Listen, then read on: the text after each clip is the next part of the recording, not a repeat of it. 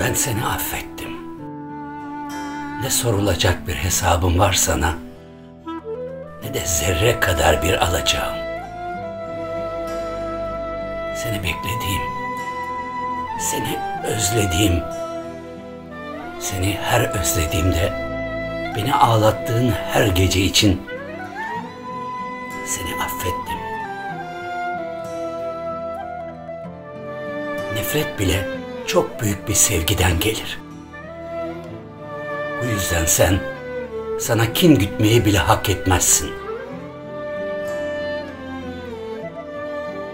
Bana bir borcun yok.